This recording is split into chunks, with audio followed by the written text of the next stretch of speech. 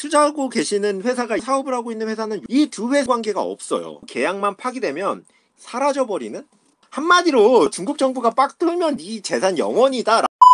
우리 대통령께서 중국과의 모든 관계를 끊을 수도 그러면서 미국 상장 중국 기업도 겨냥한다라고 말씀을 하셨죠. 뉴욕 증시에 상장된 중국 기업 살펴보고 있다. 뉴욕 증시에 상장된 중국 기업이라는 게 어떤 느낌일까라고 보면 예전에 배달의 민족 이 회사가 어느 나라 소속이냐라고 말씀을 드리면서 알리바바가 VIE라는 이상한 구조를 갖고 있지만 어쨌든 본사가 K만에 있다라고 말씀드렸는데 이 VIE에 대해서 말씀드려 보려고 해요. 미국 상장된 중국 기업이 이 건들기도 되게 애매한 구조가 없지 않아 있거든요. 저희가 투자하기도 조금 애매한 구조이기도 한데 예전에 18년 말에 마윈이 알리바바 그만둘 때 이제 알리바바 경영을 떼겠습니다라고 하면서 나온 거에도 이렇게 나와요. 가변 이익 실체 소유권을 포기했다. 좀 이상하지 않아요? 아니 경영권에 손을 떼는데 소유권을 왜 포기하겠어요? 근데 소유권을 포기하는 것도 이상하게 회사의 소유권이 아니라 가변 이익 실 소유권을 포기했다. 뭔가 너무 어렵지 않아? 이상하고 이게 기사에 나온 건데 이게 중국에 있는 상장회사예요. 중국에 있는 상장회사인데 이게 뭐냐라고 보면 이제 company가 저희가 지금 투자하고 있는 상장회사 ticker로는 알리바바면 바바겠죠. 그리고 이게 이게 미국에 상장돼 있어요. 미국에 상장돼 있는 뭐 보통 미국에 많이 상장돼 있으니까 미국에 상장돼 있는 회사가 바로 이 회사예요. 그래서 미국에서 알리바바를 거래하시면 이 회사의 주식을 거래하시는 거예요. 그리고 아 그럼 알리바바가 중국에서 사업을 실제로 하고 있는 회사가 어디냐라고 하면 이 회사가 중국에서 실제로 사업을 하고 있는 회사예요. 중국에서 실제로 사업을 하고 있는 회사예요. 그럼 이 회사와 이 회사는 지분 관계가 없어요.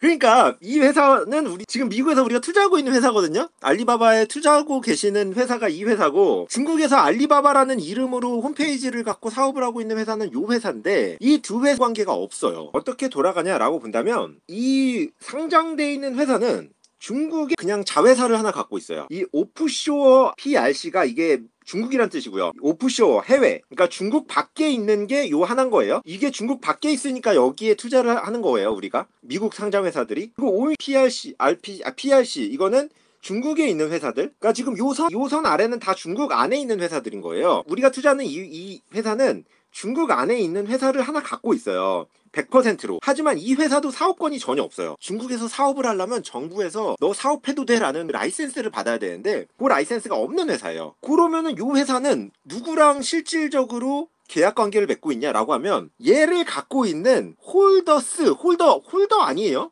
holders S가 붙어 여러 명의 주주들과 관계를 갖고 있어요. 어떤 계약 그러니까 이 중국에 실제 사업하고 있는 회사를 여러 명이 쪼개 갖고 있는 거예요. 뭐 두 명이 될 수도 있고 세 명이 될 수도 있고 한 명이 될 수도 있긴 있어요. 근데 한 명은 보통 많이 없긴 없다고 하더라고요. 저도 자세히는 모르는데 그거는. 근데 holders예요. 여러 명이 이거를 쪼개 갖고 있고 이 회사와 이 holders는 어떤 계약을 맺고 있냐라고 보면 이 회사는 차입금을 빌려줘요. 차입금을 빌려주고 빌려준 대신에 알리바바 이 지분을 살 수 있는 콜옵션을 얘한테 주고요. 그리고 proxy, 의결권. 얘가 경영을 할 때, 이사회 할 때 의결권을 행사할 수 있는 실제 경영권이 사실 이 의결권과 비슷한 내용이죠. 주주의 의결권이 결국 이사 선출로 넘어가고 그게 경영권이 되는 거니까 의결권을 얘한테 다 넘겨요. 그러니까 결국 이 회사는 이 회사의 주식을 살 수 있는 권리와 콜옵션을 각 의결권을 갖고 있고 대신 돈을 빌려준 거예요. 그 빌려준 돈으로 중국 회사들은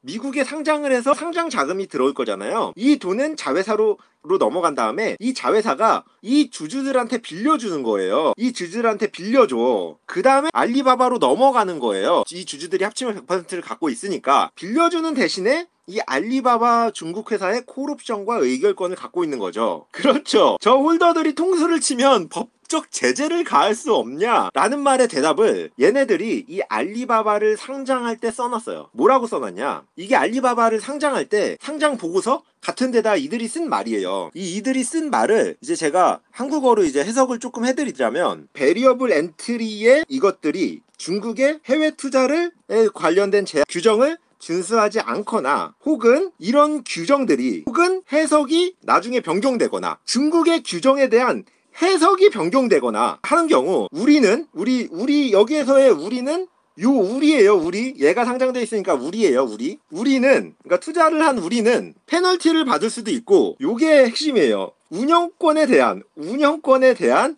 우리의 권리, interest 권, 권리라고 하면 맞나? 어쨌든 우리의 권리를 포기함을 강요당할 수 있다. 권리를 포기함을 강요당할 수. 그러니까 아주 간단하게만 몇 개 보면은 중국 정부의 해외 투자에 대한 규제 규제의 해석만 바뀌어도 해석 규제가 바뀌는 게 아니라 interpretation 해석만 바뀌어도 저희는 이 사업에 대한 권리를 하는 걸 강요받을 수 있어요. 이제 상장할 때 써놨어. 우리 그러니까 한마디로 너 중국 정부가 빡 돌면 네 재산 0원이다라고 써놓은 거예요. 예.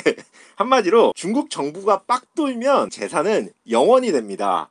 라고 써놨어. 근데 이게 봐봐 근데 그럴 수밖에 없는 게 우리는 여기에 투자했고 얘에 투자했고 얘는 돈만 빌려준 거예요. 돈만 빌려줬어. 그리고 콜옵션이나 이걸 갖고 있는데 이 투자 제한이 안 되면 너는 이거 갚을 수 없으니까 나중에 돈만 갚아도 되는 거예요. 그렇잖아. 론 어그리먼트니까 돈만 갚아도 돼. 그럼 왜 콜옵션 안 줬냐라고 하면 정부가 하면 안 된대 라고 하면 끝인 거야. 그게 뒤에 써놓은 거예요. 여기 뒤에. 그러니까 이게 투자한 사람들은 얘가 상승해도 상승을 못 받을 수 있는 중국의 제재 가능성이 있는 거죠. 그러니까 이게 되게 무서운 구조예요. 이게 중국에 상장되어 있는 회사가 그냥 우리 일반적으로 해외에 상장되어 있는 중국 회사들은 대부분 이 VIE의 구조를 취하고 있어요. 근데 이 구조가 진짜로 중국 정부의 말 한마디에 이 계약이 파기될 수 있고요. 이 계약만 파기되면 이 두- 투자한 회사와 실제 회사와의 관계는 아예 사라져버리는 그런 구조가 될 수 있어요. 그래서 이것 때문에 투자를 안 하는 것도 또 너무 이제 리스크 어벌스한 일이긴 하지만, 그러니까 그래도 그거 보실 때 약간은 좀 도움이 되실 수 있을 거라고 생각은 해요. 원금은 회수 가능한 건가요? 상장 하는 그 시점에 들어간 사람은 론 어그리먼트니까 회수할 수 있겠죠? 하지만 100만 원짜리가 10배 올랐으면 이제 1000만 원이 됐을 거잖아요. 근데 회수할 수 있는 금액은 100만 원이겠죠? 100만 원 플러스 이자?